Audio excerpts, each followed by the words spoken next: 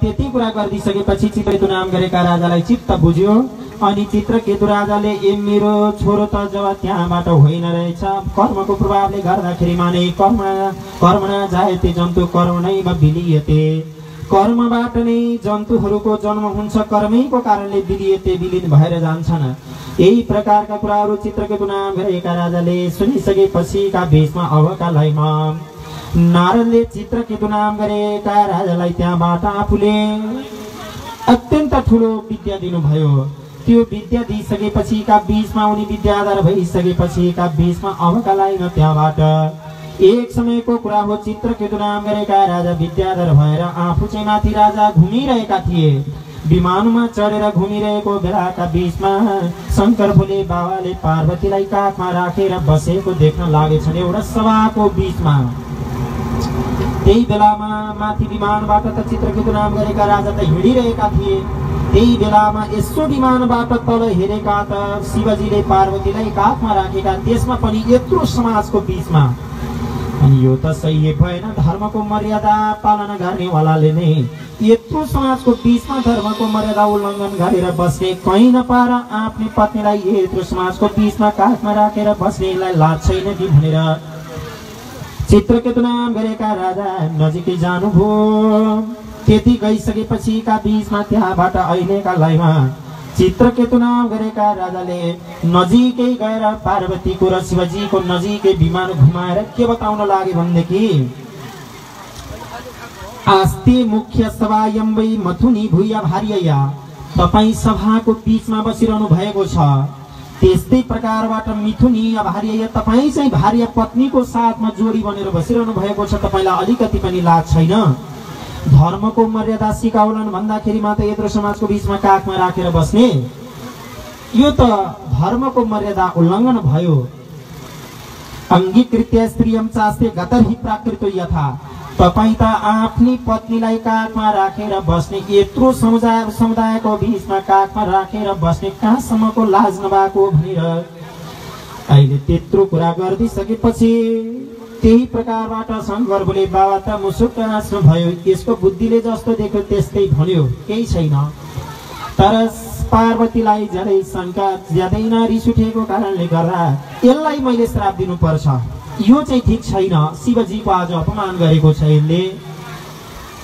भनेर त्यहाँबाट अहिले पार्वतीले त्यही चित्रकेतु गरेका राजाका प्रतिमा बताउन लाग्नुभयो।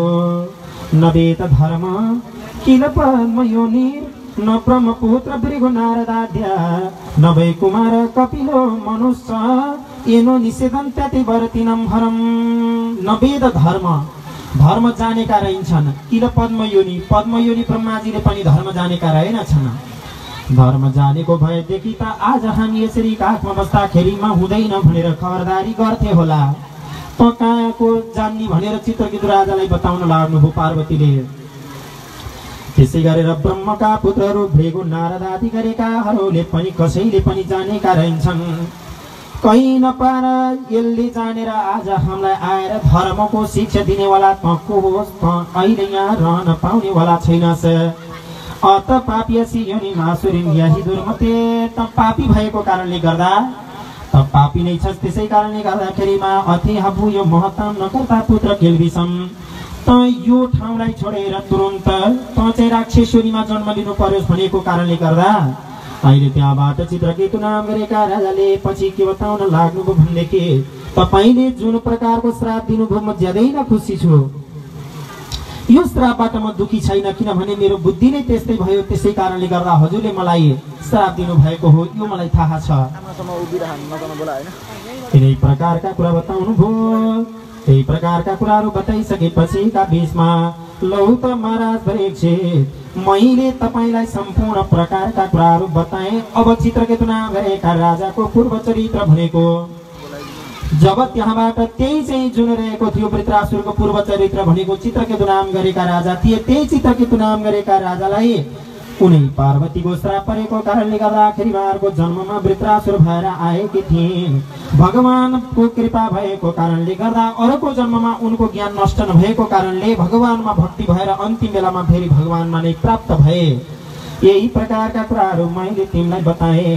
पूर्व चरित्र सारा सम्पूर्ण कुराहरू बताइसकेपछि एका बिचमा अदिति र दितिका सन्तानहरू त्यस्तै गरेर मरुद गणका कुराहरू पनि अहिले राजा परीक्षितलाई सुखदेव स्वामीले सम्पूर्ण प्रकारबाट बताउँदै हुनुहुन्छ भन्ने सम्मको कथा सदैवबाट जय बोलो श्री कृष्णचन्द्र भगवानको श्रीमद् भागवत महापुराणको श्री कृष्ण गोविन्द हरे मुरारी।